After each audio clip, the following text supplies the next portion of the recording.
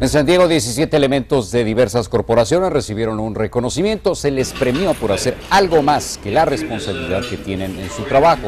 Con esto se busca incentivar a los uniformados para que sirvan más y mejor a la sociedad. Se me hace que es algo muy importante de reconocerlos para darles las gracias por lo que hacen. Este, normalmente van a situaciones eh, feas, malas, donde la gente no los quiere ahí.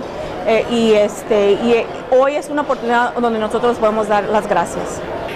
Este evento se realiza anualmente, la entrada tuvo un costo. Lo recaudado se destinará al programa, programa Crime Stoppers o Alto al Crimen.